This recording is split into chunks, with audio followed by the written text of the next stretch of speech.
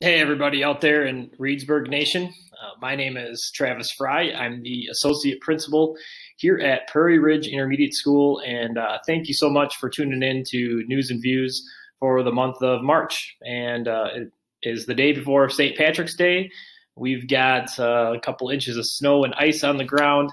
Last week we had 60 degrees and sunny, and kids were peeling their coats off. And uh, so it's just been an interesting year, and obviously with March, you never know what you're going to get. A um, couple things I'm just going to touch on. Uh, uh, in our fourth grade, we're, we're currently uh, in the midst of our maple syrup tapping season. We've had a really uh, successful year. We've had a lot of days in the low 40s, uh, and then at night getting down in the low 20s. So it's just the prime uh, maple syrup flow season. Uh, big shout out to Mr. Peets, our K2 associate principal, and all of our uh, fourth grade staff uh, and volunteers who make that possible. It's it's just an awesome thing, and um, I just love going out there and, and get and especially this year with the lack of field trips, it's just really nice to see kids out uh, taking advantage of the Harchie Center. Um, so uh, just you know another update. I remember uh, filming this in the fall, and we were four days a week, and then we quickly changed back to hybrid. Uh, so I hate to jinx ourselves, but we've been uh, with doing the news and views again. But we've been uh, um, four days a week for a couple couple weeks now. Everything's been really really successful. Um, I don't know if you're following the numbers, but our district currently, at the time of recording this, is uh, zero cases, and for students and staff. And I'm knocking on wood because we want to keep that going, and uh, we're we're just really happy with where we're at. And Prairie Ridge, uh, being the the longest uh, so far school uh, for four days a week, we just have such a unique building with 100,000 square feet. We're really able to space everybody out a lot better uh, to keep that going. So shout out to our staff, students. Uh, it's testament to all of them for the compliance with mask wearing, the compliance with hand washing, uh, the compliance with with distancing at, as best you can when you can.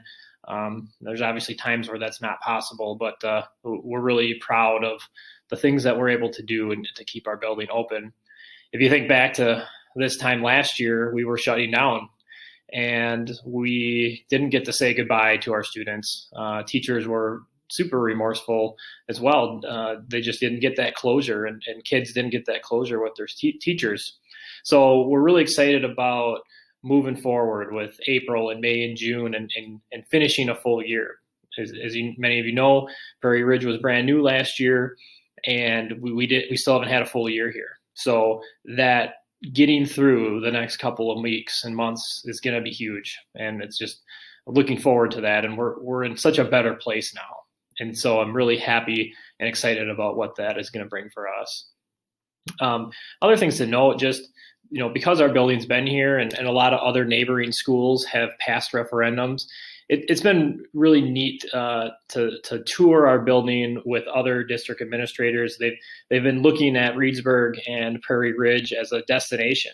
Uh, we built this beautiful school on a hill and um, all the unique things that we do here um, and walking through um, with with superintendents and principals and, and explaining our process not only you know logistics but layout and philosophy has just been really cool and um, you see a lot of those administrators nodding their heads and saying man we didn't really think of doing it that way and that makes so much sense and um, so efficient the way that you have things laid out and so um, it's been just validation that what we built here is, is, is going to be great for many, many years. And a lot of districts are taking note of that. So something to be proud of. Um, I, I, just really am proud of this building, this community, uh, and it's really going to be a beacon for others to follow in our footsteps. So um, it, it, I'm just excited about doing that more in the future. And so if you're out there in the community and haven't seen our school and, and when things get a little bit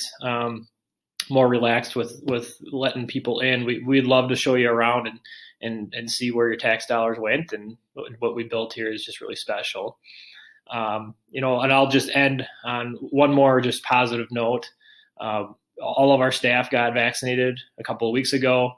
Uh, huge morale boost for everybody. We're we're all looking forward to getting back to normal in five days a week, and um, we just that that was a huge boost for us. And the next dose coming at the end of March here is just going to be that extra layer of security and safety and getting everyone back.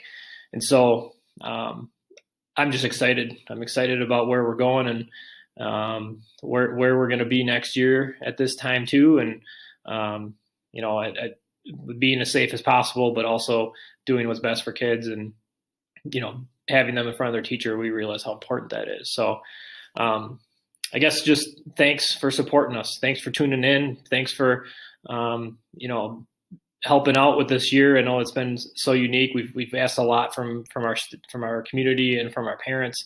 And so, if there's any any things that we can do to help alleviate you, or you need help, you know, please ask. We're here uh, as advocates for for everybody in our community not just students, but for parents and families. So um, thank you for your continued support, and we'll talk soon.